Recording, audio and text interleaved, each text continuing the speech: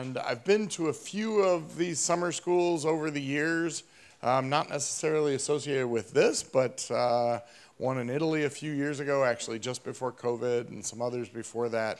And it's always just an enlightening experience to, to see all of you and to have the chance to kind of bridge that gap between kind of classical classroom learning and, and instruction versus research and where we are research wise and things like that. And so I'm going to try to do that um, today and tomorrow. My second lecture will be tomorrow. Um, and I think they're the first polymer chemistry lectures that you get, um, which is both great for me um, because I'm working with a blank slate, but also a little disadvantageous for you because the classical way might be to cover linear polymerization, some of the things that other people are going to cover later in the week before networks. Um, but instead, I'm going to talk about polymer networks. And then I'm going to introduce the concept of dynamic covalent chemistry, um, which I think is a very hot topic in chemistry in general right now, and then talk about the implementation of that in polymer networks. And that'll be kind of the, the outline, and I'll have some details on that here in a second for the two lectures that I'm going to give. All right, so cross-link networks. I, I love this picture, right? Um, so this, for those of us who are older, uh, they used to make cars out of plastics and thermosets, right? And so this is uh, the classic Trabant car uh, that was used to, or that was made from thermosets. Not necessarily the uh, best application of thermosets. Um, you could go all the way from there and transition this to kind of composite structural materials that Boeing makes uh, the Dreamliners out of now, and actually many of their airplanes uh, have significant components of that. You can talk about photolithography, you can talk about advanced biomaterials. Um, flat panel displays have almost an endless number of coatings that are almost all thermosets that are used to control the optical characteristics of those uh, flat panel displays.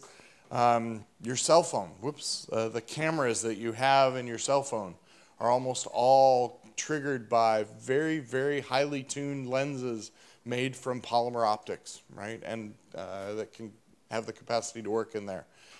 Uh, methacrylate dental restorative materials, and so almost all of you that have fillings in your mouth, right? Uh, those are almost all plastic in one form or another, composite that's in there, but a thermoset, a cross-linked polymer structure that arises for that. Tissue engineering is an uh, application that has come into play uh, much more recently, but very, very important for all the different hydrogel applications that we can make from thermosets and that we might be able to use to do that, right? And so you can look in textbooks, very classic textbooks, and you can see, all right, what is it that characterizes a thermoset? And, and maybe characterizes is the wrong word, but what are the, some of the outcomes and attributes of a thermoset or a cross-linked polymer structure that we think of, right? And these are actually typically the reasons that we think of using these, right? So if I go back here, right, if you were flying on your 787 Dreamliner on the way over here, you probably didn't want that material to change shape very much on your way over here, right? Um, but uh, at least those of us who had to fly across an ocean, that, that's a comforting thought that this is a fixed, rigid structure. You know, it gets exposed to different conditions, different humidity in the atmosphere. It's not going to change its swelling much. It's a high TG material mechanically resistant, it has great shape memory, it's going to understand and, and behave appropriately for doing that, right? So that material can't be reformed, right? It's not like polyethylene. We can't go take our thermoset, our epoxyamine thermoset, and go recycle that and reprocess it and, and make it into a new shape, right? All of those crosslinks that are there, that essentially infinite molecular weight that that material has as a crosslink material, resists that. It doesn't want to be reformed. It can't be reformed. You can't just melt it like you can polyethylene, extrude it out through another, uh, you know, into another shape, right? can't be resoftened by heat. They're insoluble, right? So I can expose them to solvents. Whatever solvent I expose them to, be a fantastic thermodynamic solvent for that material, it's not going to dissolve it. It can swell it, but it can't dissolve it, right? And that makes these materials fundamentally different from kind of classic thermoplastics, linear polymers, branched polymers, et cetera, right? And so ultimately, that's a great set of applications. or implementations and properties, things like that, right? But also has some pretty significant disadvantages, right? So what would you like to do with every plastic that you make right now? You'd like to recycle that, right? You'd like to reuse that material. You'd like to have that broken down and be able to take that and reprocess it and reutilize it, right? Boy, if I'm looking again, let's just think about this. What if I start to get cracks in this? again, not sure I want to get on that plane, right? So, how can I heal these materials? How can I adjust them to rework them, right? And so we can actually learn a lot from physical networks, right? And so physical networks are ones that are not covalently bound, right? Ones that have maybe hydrogen bonding or urethane interactions or pi-pi stacking, right? A variety of other things that give rise to physical networks that have dynamic kind of pseudo crosslinks in them, right? And we can learn a lot from that because Many of these implementations are kind of compromised by dynamic bonds. But boy, if you could figure out a way to turn those dynamic bonds on and off, you might be able to get the best of both worlds. And frankly, hopefully by the end of tomorrow's lecture, we'll show you that we can actually do that um, as a community and that we've made significant progress to saying, let's keep all the great properties of thermosets when we want to have those, but also start to move towards reprocessability, reworkability, um, and re, uh, essentially re-engineering of those materials. And we'll do that through dynamic bonds, but we're going to do it through dynamic covalent chemistry. All right. Okay, so today's lecture, I'm going to talk about well, basically where do we get networks from? How do we make polymer networks? What are the differences in different ways that we make polymer networks? And then introduce dynamic covalent chemistry. And we'll do this not so much in uh, polymers today, just an introduction of dynamic covalent chemistry, reversible addition, reversible exchange reactions in general. And I think I have about 10 or 12 different slides and I'm glad to hear that you're going to get the slides because frankly I probably won't spend a lot of time on the details of each of those chemistries. Um, there are references to reviews, there are references to the papers that we see as some of the leading papers in those areas that people have done. So you'll see examples of all of these uh, dynamic covalent chemistries. And then tomorrow's lecture, I'll basically take this and I'll say, okay, let's put those in polymer networks and let's see what happens. Okay, so secondary polymer structure. Start from linear materials. I think Kris Matyjaszewski and others will do a great job of talking to you about that as you go through the next couple weeks, including controlled polymerizations, living polymerizations, uh, et cetera kind of you move on to, to branched structures, right? So high density polyethylene to low density polyethylene, and ultimately to these cross-linked materials. So I'm going to, in the kind of tradition of a lecture, actually, um, something that's a school rather than me just standing up here talking, I'm going to ask you guys questions, and I'm actually going to expect answers. Okay? I realize that that may be revolutionary. Um, but it's going to happen. Okay?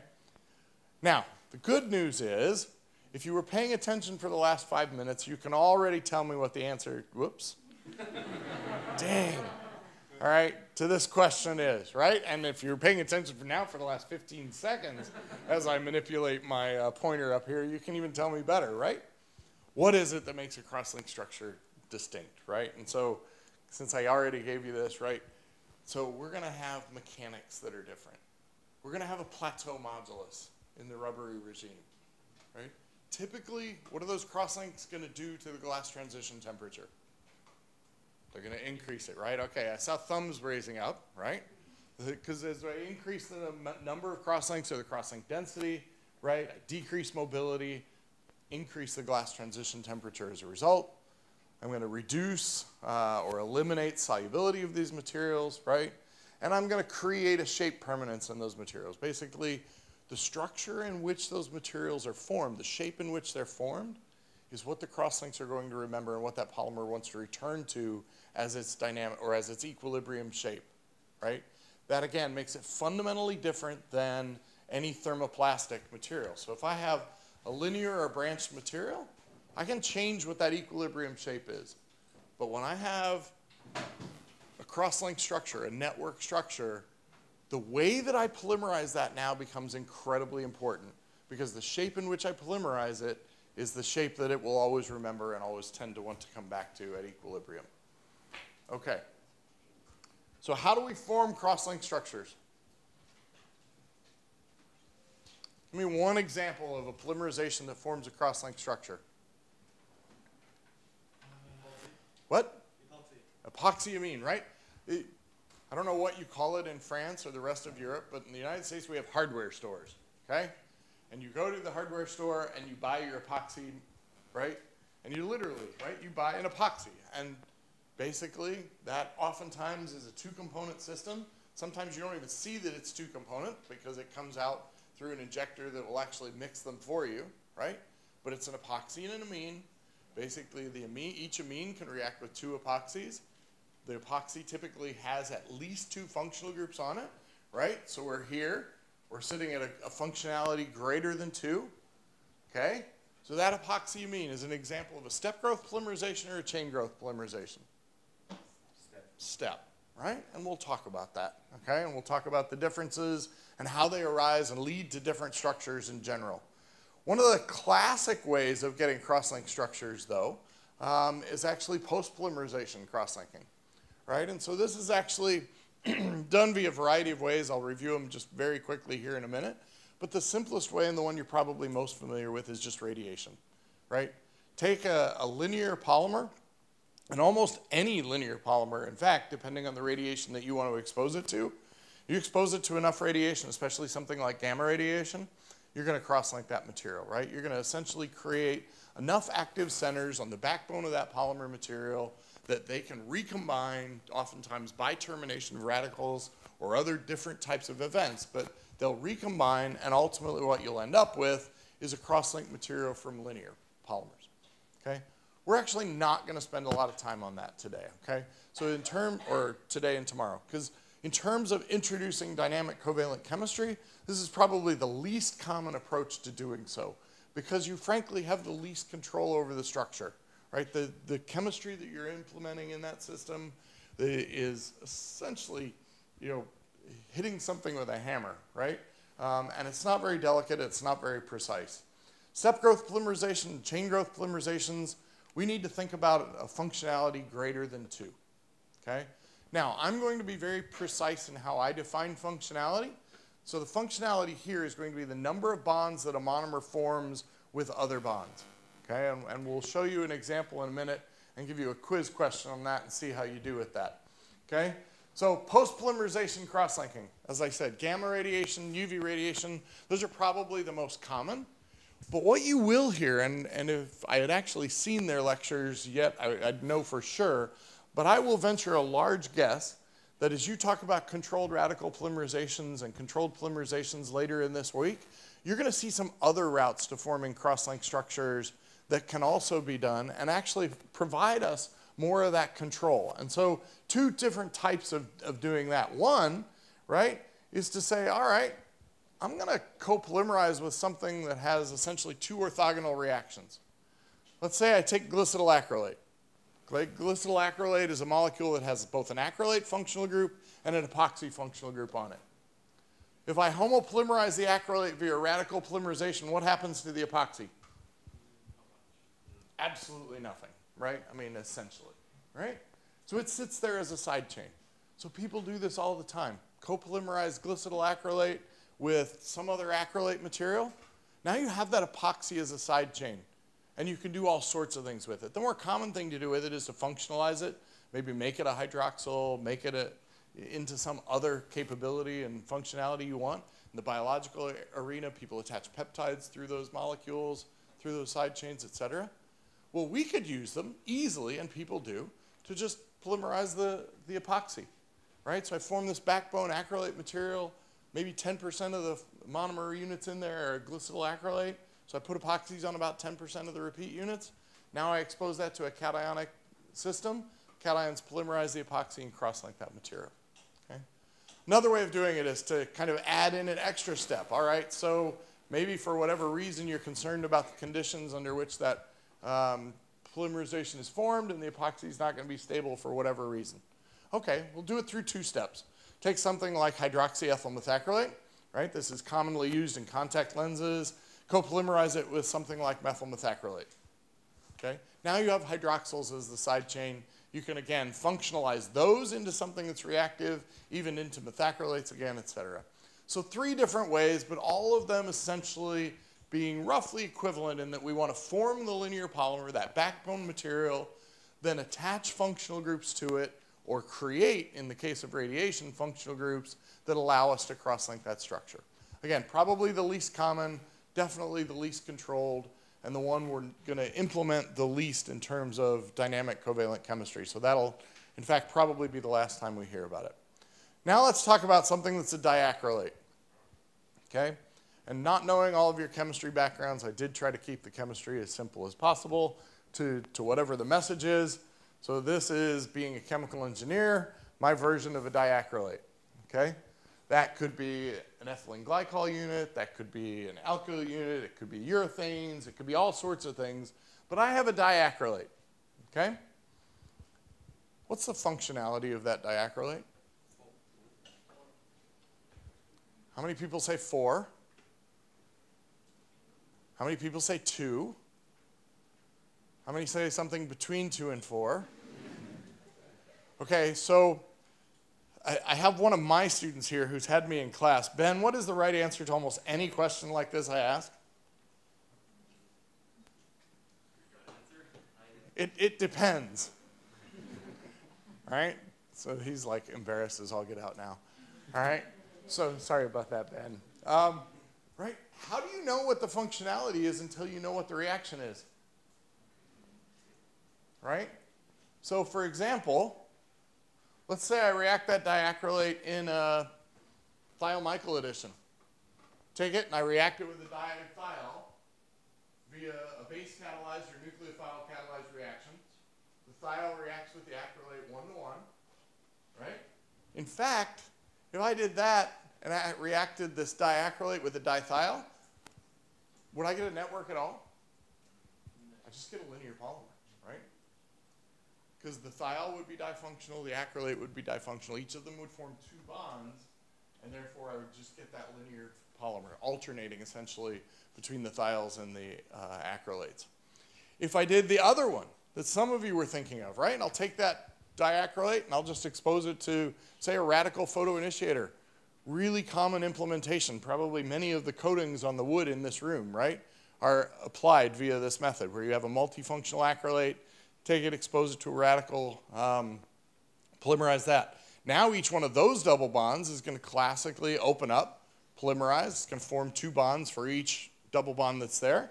And so those of you who said four, right, this is where you can get that very easily. That, of course, will be a very cross-linked network. If I do something in between, right? So you'll find that there's another kind of radical mediated process. And if I introduce thiol, relatively high level of thiol compared to the acrylate, but now instead of doing a base or nucleophile catalyzed thiol-Michael, I do a radical reaction. Well, now each acrylate, it depends on how much thiol is there as to how many bonds it'll form, right? And it'll be between two and four. So the key here is that I have to know more about the system. I can't just look at a monomer and say, okay, I know what that's going to do. Because depending on the reaction that I'm doing, whether I'm doing step growth, whether I'm doing chain growth, whether I'm doing a catalytic reaction or an active center mediated polymerization, right? I'll get different structures out of that. And those structures are going to be what dictates ultimately what my characteristics of my network are and eventually what we'll see is how that responds then to the implementation of dynamic covalent chemistry. Okay? So what happens as our average functionality increases? And this is actually incredibly important, right? Because one of the things that we want to manipulate if we want to think about changing and, and using dynamic covalent chemistry to cause relaxation and reprocessability and things like that, is what can we do with that functionality to control our cross-linking density in our network structure? And so the, the simplest thing about this, right, is, so this is some illustration of just the weight average molecular weight as a function of the average functional group conversion. So imagine that basically I was going to take this diacrylate in whatever mixture I was creating, and I was going to look at the weight average functional group, weight average molecular weight, excuse me, as a function of conversion of those acrylate functional groups, right? If I was do, if I were doing this Thiol-Michael reaction, right? As I said, all I'd get is a linear polymer. And I'd be subject to all of the problems of a linear step growth polymerization, and we'll talk about those in a minute, right? If I increase that functionality, so for example, I go to that diacrylate homopolymerization, I can actually get gel point conversions in acrylate homopolymerizations that are well below 5% or even 1% conversion, right? Because I might be able to polymerize 500 of those acrylates into a single backbone unit, right? And all I need, if I have 500 of them, is the weight average two of those pendant functional groups to react to give me a gelled system, right? So as I increase functionality, my weight average molecular weight diverges earlier. and so again, basically what I'm going to do here is change the gel point conversion uh, as I do this. And this will all change then, right? Cross-linking density changes with uh, functionality, glass transition temperature, as we already talked about, internal stress, all right? Which one of these two systems, all else being equal, do you think gives rise to a higher level of internal stress?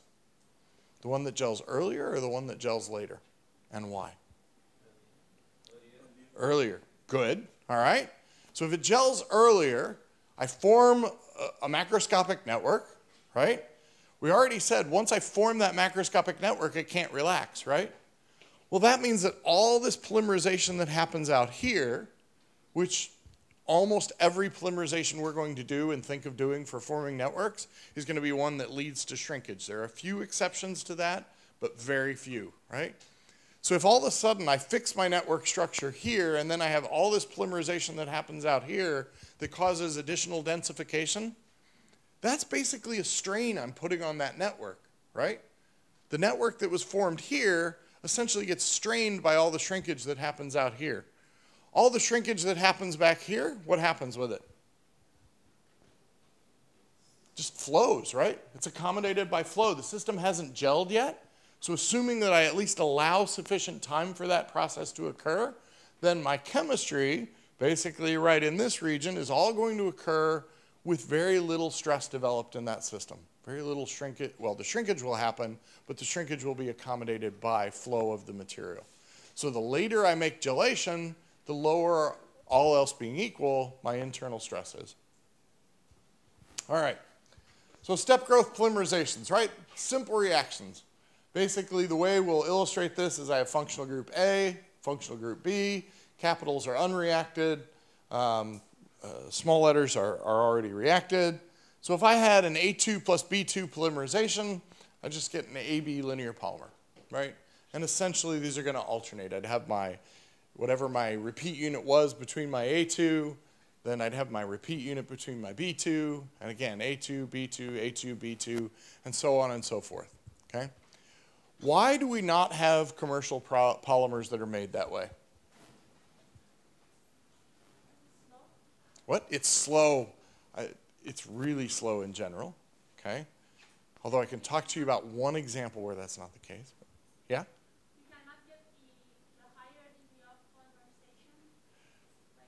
Yeah, so, so again, when we homopolymerize an acrylate or a styrene or things like that, or polyethylene, right? We get hundreds or thousands or tens of thousands of repeat units, right? In this polymerization, there are all sorts of reasons we can't get to high degrees of polymerization, right? So your classic theory of step growth polymerization, hey, I'm going to get very limited molecular weight because, right, I need high conversion, and I just put one kind of bullet point here, right? If I need 100 repeat units at a minimum to act like a polymer, if I have all the other things perfect that I'm about to talk about, I still have to get to 99% conversion. The reaction is generally slow, and at 99% conversion, it's oftentimes going 10 to the fourth slower than it did at the start because I've consumed 99% of the two functional groups that are reacting in that case, right? So if I have a essentially a second order reaction, yeah, I'm at 10 to the fourth times slower rate than I was at the start, okay?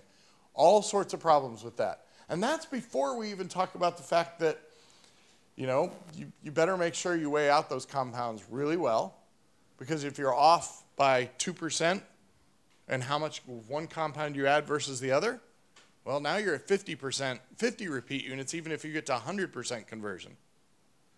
Right?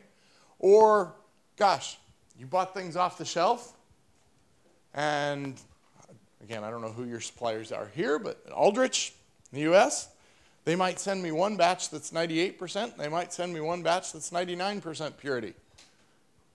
That doesn't work for a linear step growth system, right? Because all of a sudden, that 98% purity, if I thought it was 100%, weighed it out accordingly, again, I'm stuck with a maximum of 50 repeat units. Okay? Good news is, all of those problems go away when we actually gel the system. Okay? They're dramatically diminished. So when we do step growth polymerizations, right? I have one system where we do linear polymerizations with step growth systems.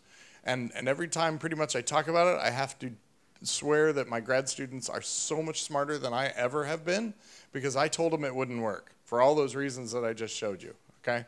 Um, so if anybody wants to have fun conversations over the rest of the week, that, that's one I, am happy to have. Um, the good news is, though, when I go to multifunctional systems, these problems go away, right? So if I'm 5% off on the stoichiometry on, say, an A3, B4 polymerization, my cross-linking density changes by a few percent, right? My gel point conversion changes by a few percent. But if I'm going to get to 95% conversion, I'm going to have pretty much the same polymer that I would have had had I even had the stoichiometry right. Okay? It's going to be a little different. The cross-linking densities are going to be a little different, et cetera.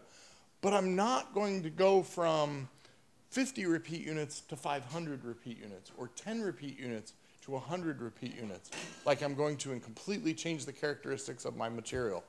So that's why you see an epoxyamine hardener. You don't see an epoxyamine linear polymer, right? So with this, we can control gelation. That's fantastic, right? We just said that stress is controlled by when we gel the system and how we gel the system.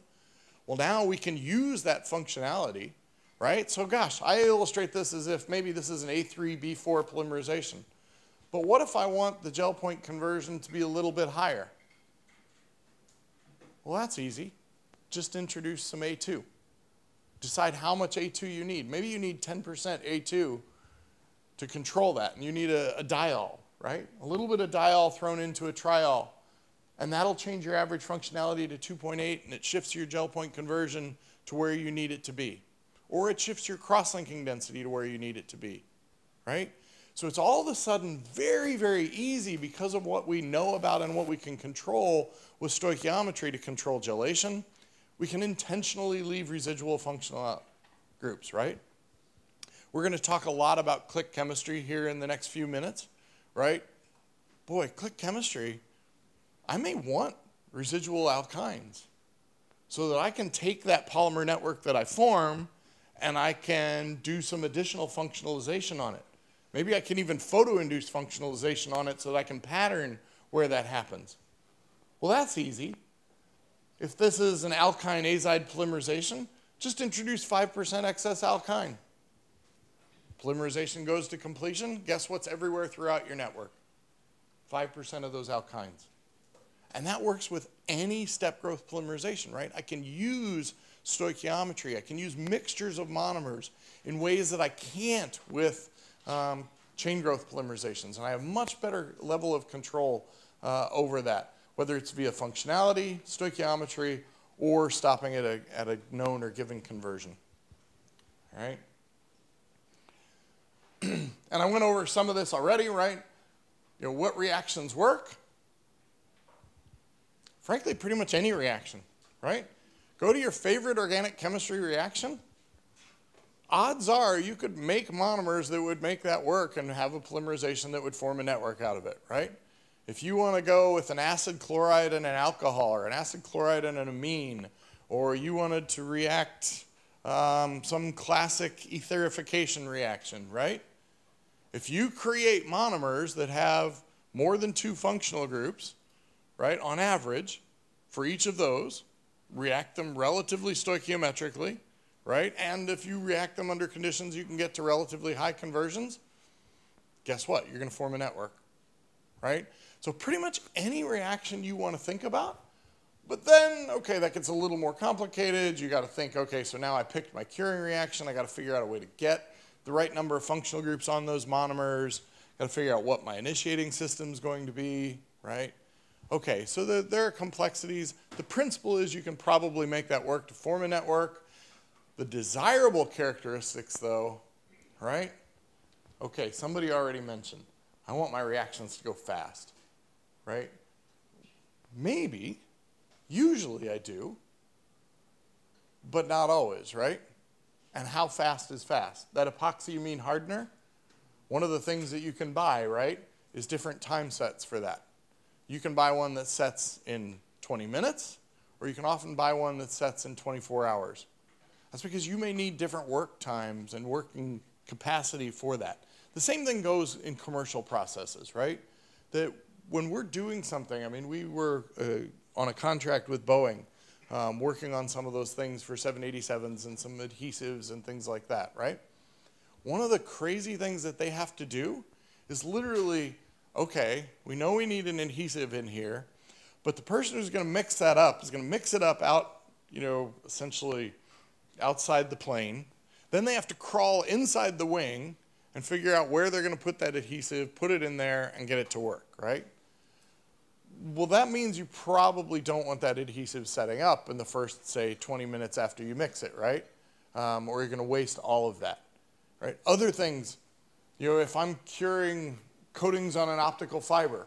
I got fractions of a second to cure those, right? So speed is important, but not always fast, right?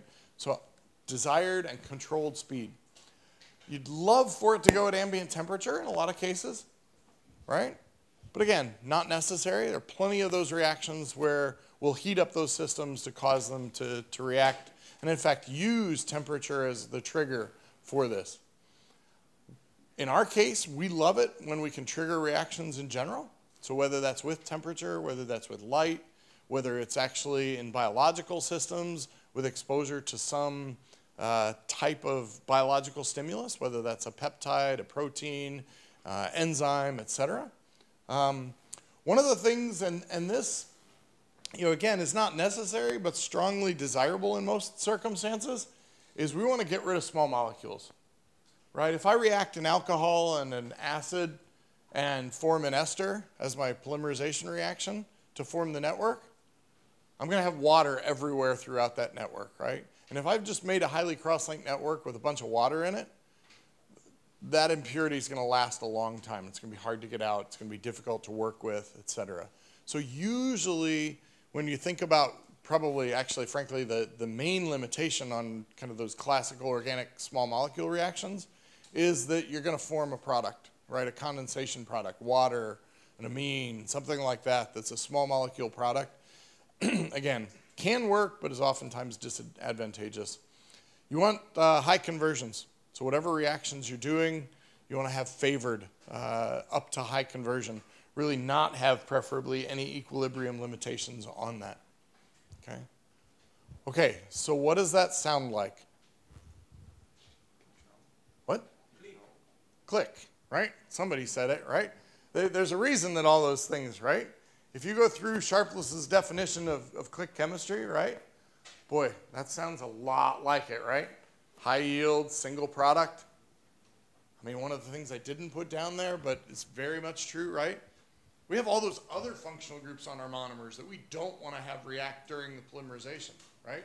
So we want to have chemistry that's what we call orthogonal, and all that means, for those of you not familiar with it, is that we want a reaction that consumes and reacts the functional groups that we want to react, but leaves all the other functional groups alone so that we can either have them in our final polymer or do something with them before we get to our final polymer as a result of that, right? Um, we want it to happen under mild and ambient, again, this is Sharpless's uh, descriptions, mild or ambient conditions. So, gosh, we want to be able to do this in the presence of air. We want to do it in the presence of water if we can. Ambient temperature is fantastic when we can make all of that work, right? Um, facile separation or product isolation, this is basically kind of going back to don't form small molecules as a result of this reaction because they're going to be really hard to remove from a polymer network, right? And then this last one, actually, if, if for those of you who have read about click chemistry, was actually one of the driving forces originally for this is, okay, we should have things that are easy, right? That you can really make fairly readily and that you can actually use. And so this limits our chemistry as well, all right? And so the idea here overall is that, hey, we want to have simple, readily available starting materials, very highly efficient reactions, and in our case, these target properties are going to be associated with the polymer network. What are the characteristics of the polymer network that we're going to have when we're done with that polymerization reaction? Okay, so I put together a few different examples of these. Um, you, they will get the slides, right? Yes. Yep. So you're going to get all of these. I won't go through them. We'll have some of this in more detail as I go through uh, some of the details, but suffice to say that we have azide alkyne reactions and several different thiol reactions that are all kind of classic click reactions. So let's look at a few of those. So first of all, and probably the original one of these that at least has been more used than almost anything else historically is the radical mediated thiolene reaction. Okay? This has actually been around for almost 100 years if you go back into the literature, um, although not necessarily always called that. Uh, Charlie Hoyle and several other people, John Woods uh, Henkel, really brought this back about 25 to 30 years ago uh, into prominence, and you now see it um, all over the place. And I think it, it coupled beautifully with Sharpless's concept of click, of click reactions, and then especially implementing this in, in polymer networks. And so the idea here is that we have a thiol and an ene, and ultimately the product of those uh, ends up being this thioether. It's radical mediated, so it's trivial to initiate with light. It's the most common way of doing it. Um, you can initiate it thermally, you can initiate it with redox uh, reactions as well. And essentially, once you generate those radicals, you get an alternating process between chain transfer and propagation.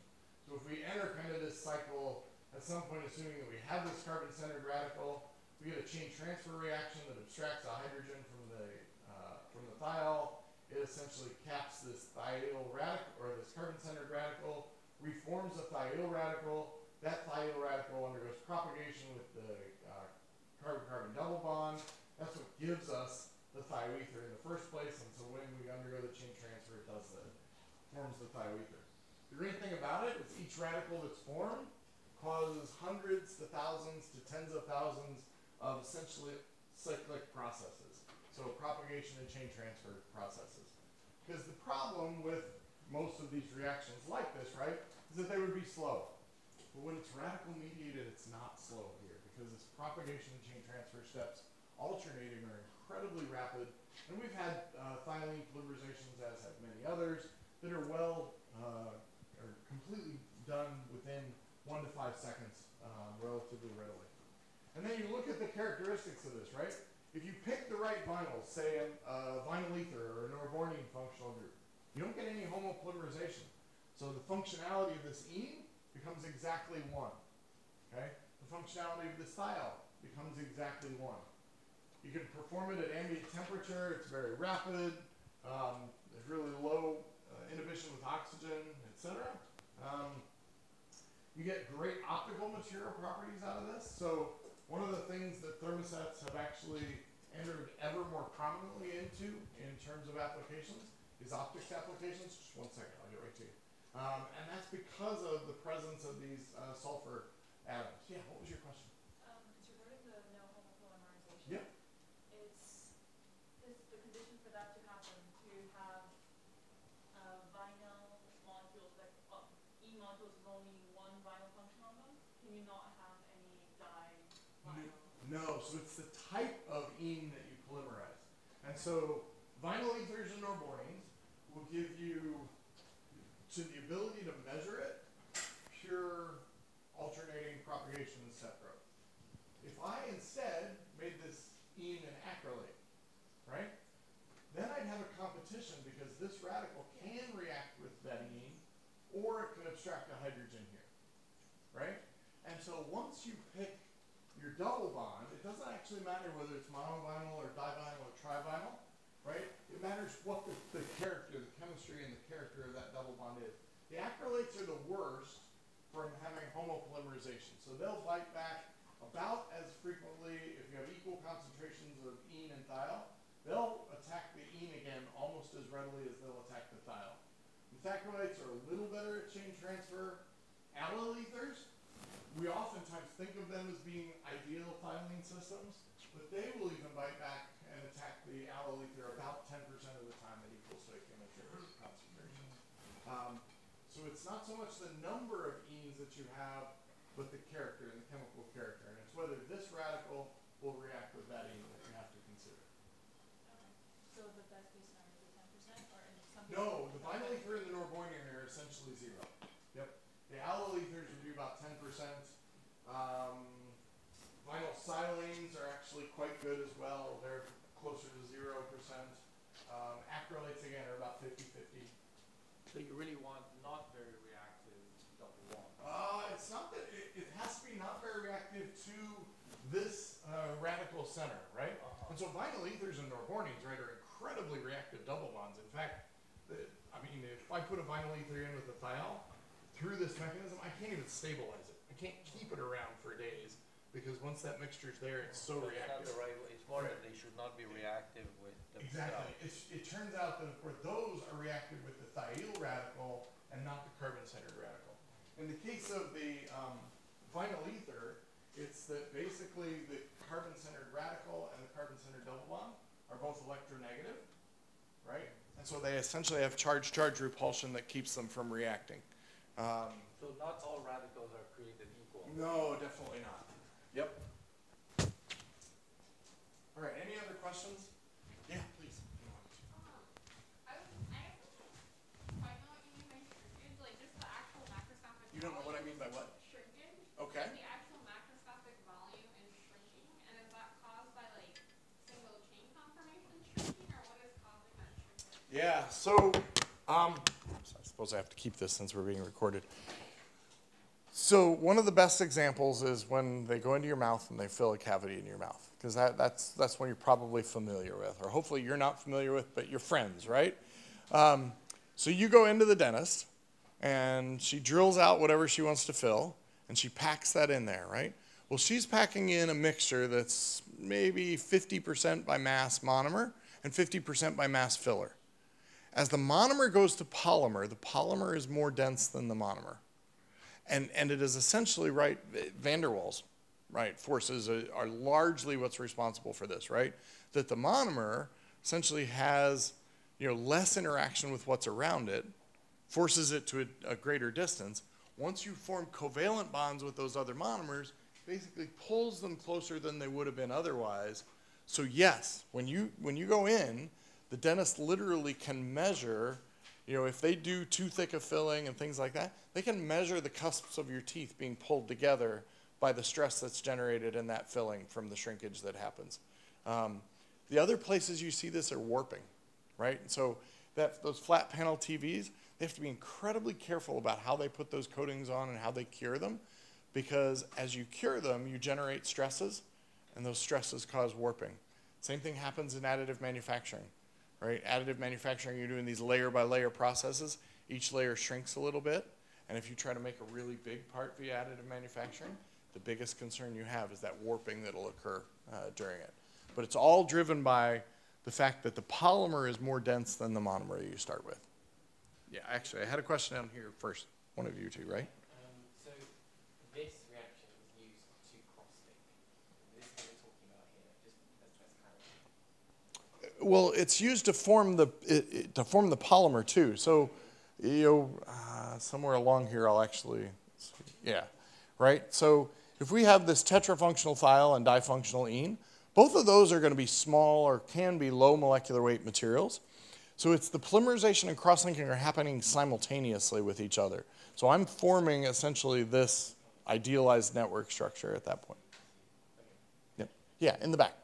Can you briefly mention, uh, since we mentioned that when we formalize the volume strings, but you also mentioned in rare case uh, uh, the volume actually expands. What's the example? Yeah, so so ring opening polymerizations of the right types of rings systems will actually expand. So epoxies will shrink a lot less than acrylates or methacrylates because you're doing a ring opening reaction. Um, and so when you ring open, right, if you think about, oh, I'm pulling two molecules closer together, well, that ring is denser than the others. So, so an epoxy polymerization might only have a couple percent shrinkage. If you do a methyl methacrylate bulk polymerization, it shrinks almost 20%. Okay? Um, and then, so the ones that don't shrink at all and actually expand, there's some spiroorthocarbonates structures. And usually, those are actually multi ring fused structures where once you add a radical into them, both of those rings open up. And the fact that you're opening up two rings counters the shrinkage that you get from bringing more molecules together almost completely, or in some cases, completely. Problem is, you don't get very good properties mechanically from them. So even though you get no shrinkage, they're very little used because of essentially the mechanics are, are not as good as you'd like. Great questions. Anybody else? All right, and if for some reason I don't see a hand up, you know, by all means, just yell at me. I have a curly arrow question. Yeah. Are we talking about radicals here? So this is this is the thiolene system. So the way that we would initiate this polymerization is by generating radicals. Because there's a double-headed arrow. Maybe there's a different convention. Uh, this is not supposed to be chemistry showing. This is not pushing electrons. Nope. This is that this thiol will add into that double bond and give the thioether. Yep. Nope. Anybody else? All right. So we were talking about shrinkage, right? So let's look at this. We talked about how gel point conversions are going to be important, right? So this is your classical filling that's actually put in your teeth. Um, the resin phase of that, it's bisphenol A dimethacrylate and triethylene glycol dimethacrylate. Probably constitutes about 70% of dental resins, something like that, in terms of the monomers that are used for that. If we compare that to a thiolene system, so this is a classic dimethacrylate homopolymerization, radical polymerization, gel point conversion is very, very early in that polymerization. In contrast to a 3-4 thiolene system that now will have a significantly delayed gel point conversion. They have very similar glass transition temperatures um, associated with that. And you can see the difference in the stress level that builds up between these two. And this is because of the delayed gelation that happens here in that thiolene system. So when we use that step growth polymerization, it does exactly what I showed you on that plot from some time ago. That basically, if we use that, it delays gelation and uses that delay in gelation to limit the stress that arises in these polymerizations. Uh, I'm going to skip that one. Okay, so let's go on and talk about another thiol reaction that's a click reaction, but one that's not now radical mediated. So the thiolene reaction is radical mediated. You generate radicals again via photoinitiators, thermal initiators, a variety of things like that. Um, in contrast, the thiol-Michael addition reactions are either base or nucleophile catalyzed, right?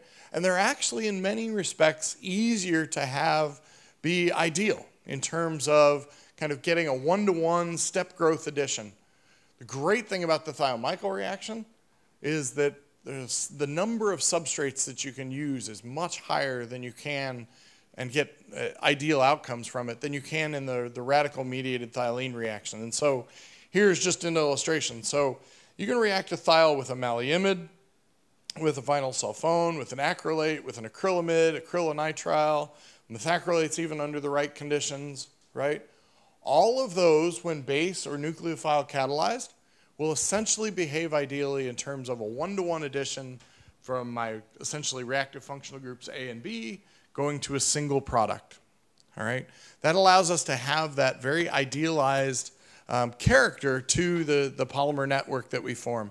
And the great thing about this in terms of um, kind of availability is that whereas, all right, you know, the, the number of divinyl ethers you can buy or multivinyl or multi-norbornene compounds you can buy is relatively small, right?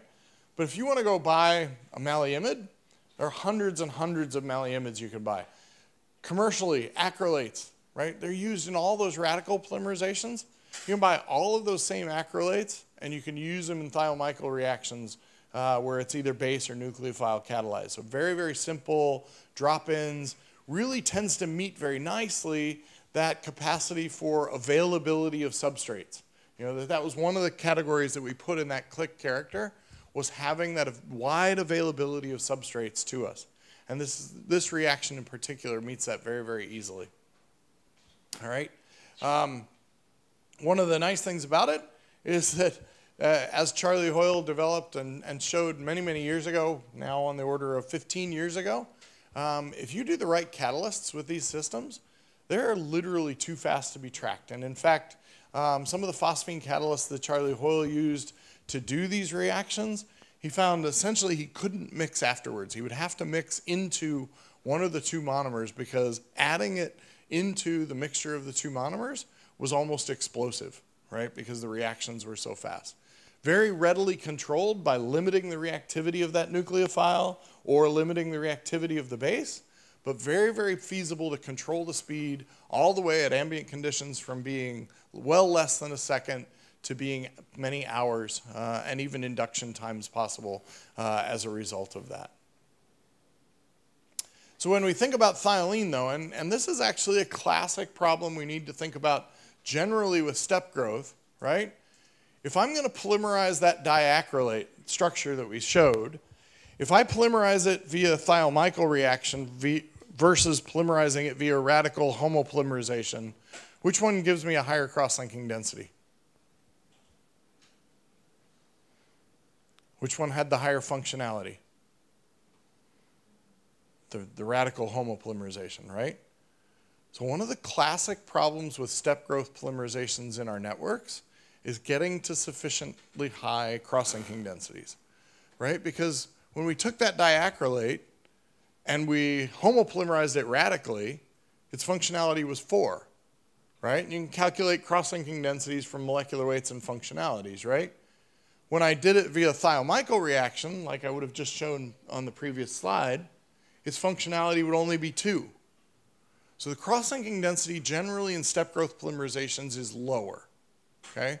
So when we look at all those things that we liked about that, the uh, thiolene systems and thiol-Michael systems, they're a lot to like. They're oxygen resistant. They go rapidly at ambient temperature. They go to very, very high conversions. They delay gelation. They give a very homogeneous polymer network. All those wonderful things that, that I can get out of that. But I also get this low cross-linking density and modulus, right? And so this is an, actually an intrinsic limitation because of the functional group density. So what do you think about changing this, right? We can actually change this by replacing that ene with an yne. And if we replace the ene with the yne, then we're back to being able to get two reactions from each thiol instead, or each essentially unsaturated group in this case, right, instead of one. And so quickly just showing what that does, right?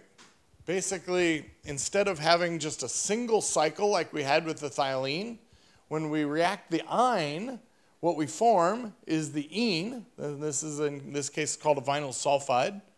So now the yne reacts, reacts to give us the thioether, but also in this case that vinyl group that's still there.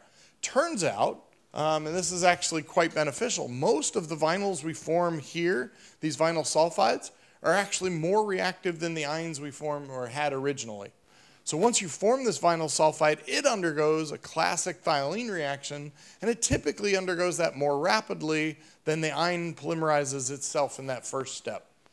So the great thing about this, now let's compare. Basically, the only difference here is that I take this vinyl ether and replace it with a molecular or a nearly equivalent molecular weight of diyne, okay? Polymerized with the same multifunctional thiols, and this is looking at the modulus behavior, and this is looking at the tan delta behavior. And what you see is that the modulus is an order of magnitude higher. So because we take that yne, and now each of these ynes reacts with two thiols, each of these vinyl ethers reacts with one thiol, so the functionality here is four, the functionality here is two. You increase the, the um, modulus, therefore decrease the molecular weight between cross-links, increase cross-linking density, and you have this dramatic shift in the glass transition temperature. So this is one of the ways, just one second, thanks a lot. This is one of the ways to address that classic limitation, is to figure out ways of getting essentially more functionality in the same molecular weight of monomer so that when they react, they'll actually form that cross-link structure. Yeah? Yeah, so great point, and I don't think it's on this slide. So this will, right, um, because you've increased the functionality here, you're going to decrease the gel point conversion. You do increase the shrinkage because now you have more reactions for the same molecular weight. Um, let's see if I can pull numbers. The approximate numbers. Um, so classic methacrylate polymerization is about 22 uh, milliliters per mole of acrylates that react that will shrink. Okay, um, so you get about 22 you know, milliliters of reduction in volume per mole of acrylates that react. The vinyl ethers are roughly half of that. I want to say they're 12 or 13. And the ynes are somewhere right in the middle of the two of them. Yeah, please. Uh, have you tried doing this stuff with acrylamides too? As a triple bond? Um, I don't know that anybody has tried that. I think the acrylamides, though, no. I, I, I was kind of at that you say these I, I, I would be surprised if they didn't have some tendency for homopolymerization. Yes. Right. Also with the oxygen inhi- inhibition, I was kind of wondering because you've got the triple bond that it's not as prominent as, as you said it before, as I thought it would. Yeah, I'd, I'd have to look at the structures and, and to see whether anybody's done it or tried it and see what would happen. The, the short of it is I don't know. Yep. Yeah. Question? Oh, yeah. So why have you chosen these two molecules to compare in this experiment? Because one has an oxygen in it, one has a carbon. Yeah, so the oxygen only makes the ene more reactive, right? So the goal here, if you put a carbon, a carbon here instead of the oxygen, this polymerization is incredibly slow, right? And so because of that, you, you wouldn't reach the same conversions, you wouldn't have actually a great comparison. The comparison here was essentially using molecules with the same number of functional groups, two, and very close to the same molecular weights. In this case, they differ by less than 5% so that you would get the same molecular weight between crosslinks if the two of them reacted the same. Okay, brilliant. Thank you. Yep. Others, yeah, please, in the back. For example, now you, ha- if you had a, a multifunctional style for linker, would you use that instead of using this chemistry style? Uh, So, in our lab and in a variety of others, we continue to try to make multifunctional thiols that have as high a density of thiols per molecular weight as you can get to try to also help with this, right? Because of the chemistry of the thiol, though, you're restricted. You, you can't just make, you know, a, an octafunctional thiol and have it only have a molecular weight of a few hundred, right? Um, believe me. You you can make polysulfur compounds, right? But having actual thiols on there and having a stable molecule formed as a result of it. So there's only so so yes is the answer, but there's a fundamental limit to how many thiols you can have or the equivalent weight per thiol in a highly functional thiol. So what you like to do is combine the two of them, right? So you want to end up reacting something that's a multifunctional yne with a multifunctional thiol if you want to get the highest glass transition temperatures and the highest cross-linking densities you, you can get. So you want to do both. They see somebody else's hand back there? Oh, okay. All right. So then, kind of the, let's see, I have 15 minutes left, huh? Hmm, okay. All right, well, we're going to move some of this to tomorrow. Uh, so, the classic click reaction, right? So, is this just out of curiosity? We'll see how many of you know your literature really well. So, Sharpless and Meldal, or Sharpless wrote the, the click chemistry paper, right? Was this the reaction he was referring to when he wrote the paper? Turns out this came out the year after he wrote that paper, right? Um, so uh, this is not the reaction that was in the paper, even though it is now the classic click reaction, right?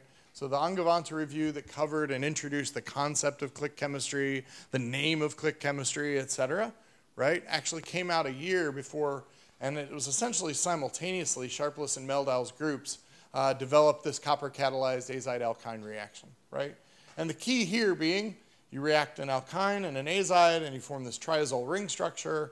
It's about seven orders of magnitude faster if you catalyze it with copper 1 than it is if you catalyze it with copper 2, right? And so phenomenal selectivity to the copper salt that's used to do that. And it essentially meets all of the requirements that we talked about for click chemistry. And that's why it is, if you know, if you're going to capitalize click, click reaction, this is the one that you're probably going to capitalize. This is the most prominent one. And it has been used to make networks. it's been used to photo initiate these systems. I won't go through this, but if you want to generate copper 1, you can do that with photo initiator and copper 2. So the photo initiator generates radicals. The radicals reduce the copper 2 to copper 1, which now catalyzes the reaction. For thermosetting systems and for step growth polymerizations, being able to not have a reaction happen or spontaneously is actually extremely advantageous. So the ability to trigger this reaction with light is actually something that adds significantly to its capabilities to use in um, thermosets and crosslink systems. The other interesting thing about this is that now, right, the triazole arises only during the polymerization. Right? So what do we have in the monomers before polymerization? We have azides and we have alkynes in terms of the functional groups. In the polymer, we have triazoles. So why would we want triazoles? Well, we just said classic problem with a step growth polymer network is that sometimes I get low TGs, low cross-linking densities, This is my triazole structure. What are the characteristics of it going to be? Pi-pi interactions. It's stiff, right? So all of a sudden, I'm getting only when I'm done the polymerization, I'm getting lots of those secondary interactions that I probably want to increase toughness in my network and to increase the modulus and TG in my networks, right? And so ultimately, this gives us the advantage that we have the step growth polymerization, right? But we're starting to build in some of the capabilities that we get from a chain growth polymerization, especially in terms of high TGs. And this is just an illustration of that. And it's one of the great things that you can do with step growth polymerizations generally, is that you can do a lot of chemi chemical controls, right? Because you can make almost identical monomers. And so in this instance, we have a triene and a dithiol have almost exactly the same triene and diazide. Okay? So almost the same molecular weights, therefore almost the same molecular weights between crosslinks uh, when the polymers are formed. And really what you're doing then is in the polymer structure itself, you're swapping out a thioether for a, a triazole. Okay? And so here, right in the polymer structure from the thiolene, we're going to have this thioether. In the, tri in the azide alkyne, the classic click, we're going to have these triazole structures. Okay? Everything else about the polymer, almost everything else about the polymer, the rest of the structure, right? This core, this core, they're basically the same. Same molecular weight, same chemistry. So that all you're looking at is the difference between the triazoles and the thioethers. So that's what you see over here, right? So the TG shifts by almost 50 degrees. You replace the ene with the, the or with the thioether with the triazole, you increase TG by about 50 degrees. Okay? And that's actually compl- uh, compar- comparable. This is my 2:30 a.m. Uh, mode, right? To what you get with carbamates. So if you can do the same structural kind of comparison with carbamates versus esters, you get actually something very, very similar. Dramatic increase in glass transition temperature uh, as a result of that. So some of the fun things that you see from these structures because of the secondary interactions, and I won't go into this in, in a lot of detail, but suffice to say that you make incredibly tough polymers. The presence of those triazoles allows for pi-pi stacking, lots of secondary interactions, and so now you take glasses made of these materials, and so right, the TGs of these materials are all well above 50 and upwards uh, of 80. You test them at ambient temperature, and what you find is that your extensibility ranges from 50 to 125%. So literally, you're taking this glassy material, deforming it, and you can deform it up to 125%. And we now actually have materials that'll go well over four or 500% in extensibility uh, made from these kinds of materials. So you can see it here. If you only deform this material 100%, then you heat it up. You actually recover its shape back, and you can continue to do that cycle over and over again. The deformation all occurs in the glassy state, okay? So if you think that's characteristic of the testing methods, so if you make a methacrylate, so this is a dimethacrylate material, similar glass transition temperature to the polymer that contains the triazoles, you can only deform that about 4.5% instead of the 100 plus percent that you can the triazole. If you make this from a thiolene system, again, very similar 4-3 system to what you have here um, in the triazole, you find that uh, it only deforms about 3%. Um, make a rubbery material out of this, you only get 4.5%. So it's the presence of the triazoles that give rise to this very, very tough character uh, in these networks. Um, you can even see that, so in a shape memory experiment, so this is a foam that was created. You then take the foam, and at ambient temperature, you crush the foam, right? So you take this, it has 80% porosity, you take it from its original volume, and you reduce it by a factor of five. So you basically compress it nominally to eliminate all of the porosity in that material, and then you heat it up, okay? And so the video is, a, is of this being heated. right? And what you'll see is it'll come back to this native structure. It has its shape memory. And even in that glassy state, with all that porosity, you crush it down and you essentially don't fracture the material. So you can repeat that process, not all the way to 20% compression or 20% of its original volume, but if you were to only compress that to 30 or 40%, you can repeat this multiple times without uh, destroying the material. We tried that with an epoxy foam, the epoxy foam just breaks the very, very first time you do it, right? It's brittle. In this case, this is not only glassy, but it's still tough. All right, so chain growth polymerizations, and that's probably where I'll end. We'll introduce dynamic covalent chemistry next time, uh, and then its implementation in networks uh, as well. So now chain growth polymerizations, monovinyl monomer, right? So styrene, methyl methacrylate, ethylene, right? When we polymerize those, of course, we make a linear polymer. And there are all sorts of catalysts that can be used for this. We can even polymerize monoepoxies, right? Cationically.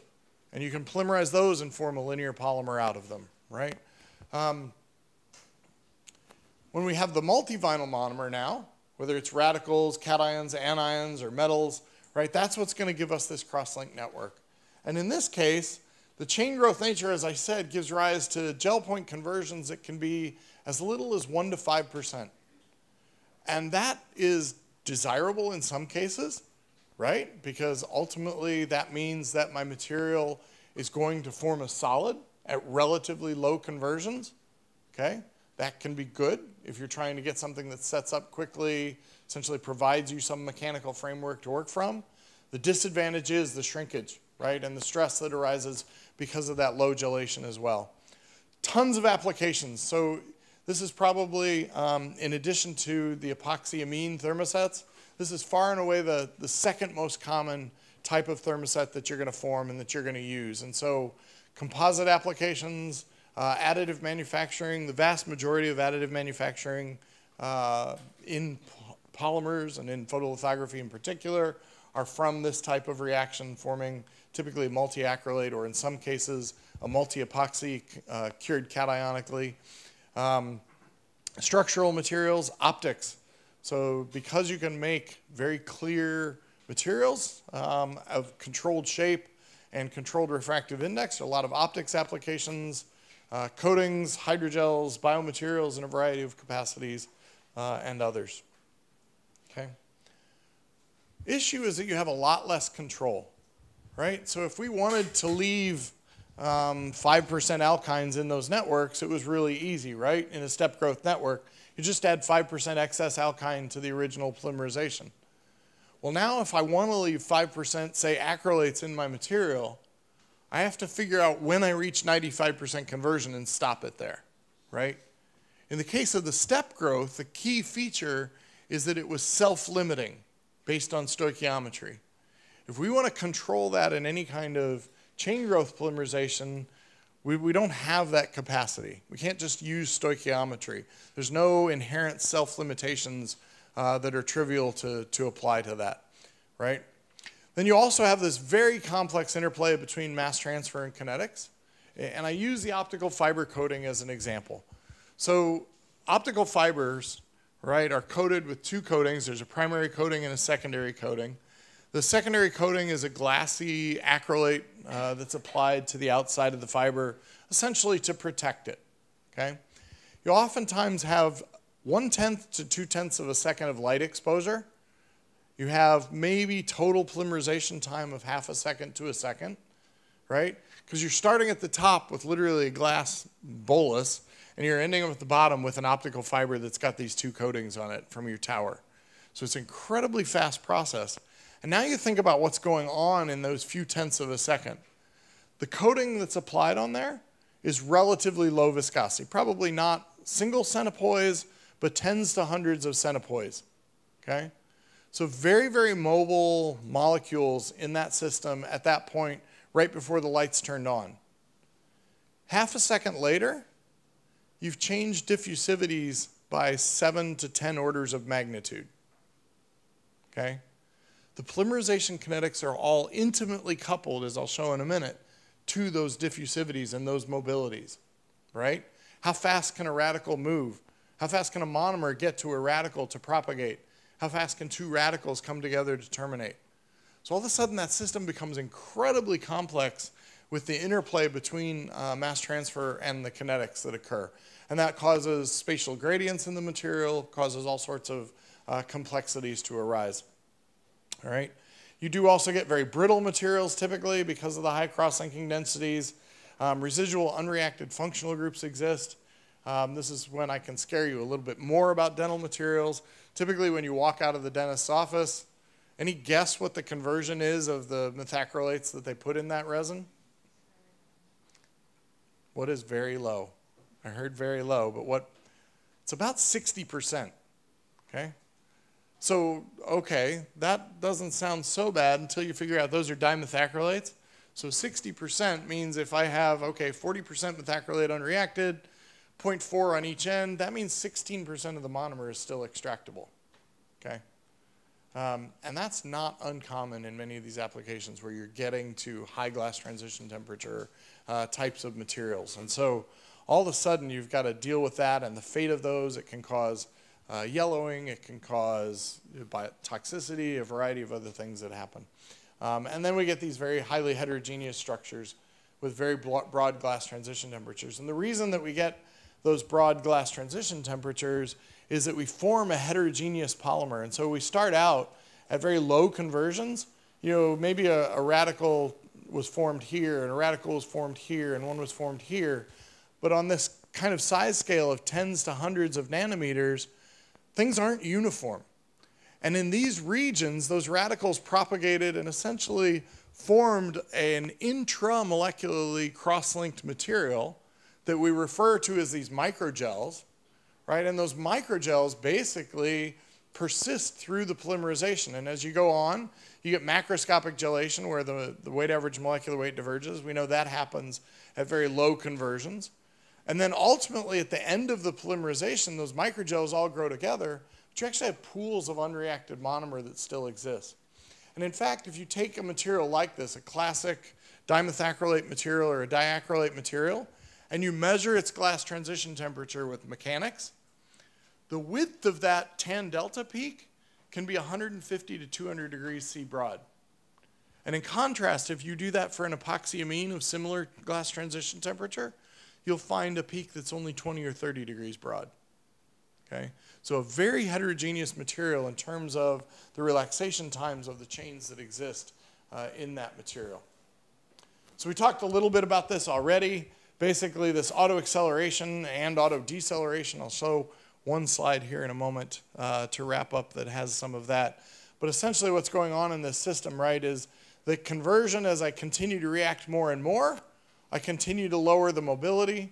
As I change the mobility, propagation, termination, chain transfer, even initiation are all mass transfer limited in these polymerizations because of that high glass transition temperature, low mobility environment, and because of the, the rate at which the, the uh, kinetics wants to proceed, we almost always find that mobility is limiting or dictating the kinetics in these systems.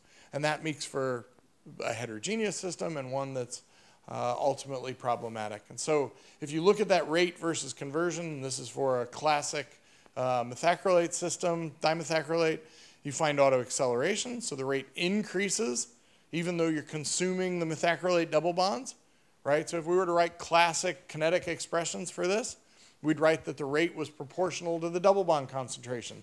So you would think classically that the rate would decrease as the double bond concentration decreased. But instead, because termination is diffusion limited, because you keep building up more and more radicals, you actually find that the rate increases as you increase conversion. Then at some point, you hit a point where propagation actually becomes diffusion limited. And at the point you, your propagation reaction becomes diffusion limited, you hit a, a region called autodeceleration, and your polymerization rate now slows down because ultimately you can't get the double bond to the radical fast as fast. And so the slower and slower that radical or double bond gets to the radical, the slower and slower the polymerization proceeds and that ultimately, again, we end up with a conversion that's much less than 100%. So with that, I will stop and I'll reserve most of my other things for tomorrow. We'll review types of dynamic chemistries at the start of tomorrow's lecture and then their implementation in networks and the effects that that has uh, after that. What questions do you have? Yeah, please. I didn't get why the gelation would help for, uh, to, uh, for, for the shrinkage problems. So gelation causes more shrinkage stress to occur. Gelation won't help with shrinkage. Gelation helps with things like, say I'm doing an additive manufacturing process, right? And I actually want my part to have mechanical integrity at a relatively low conversion. If I have a step growth polymerization with a very high gel point conversion, then I'm going to have to exceed that gel point conversion before my part has mechanical integrity that allows it to essentially stay in that same shape. Whereas if I have a low gel point conversion, that shape becomes permanent much more much earlier in the polymerization reaction. Anyone else? All right, fantastic. We'll see you tomorrow.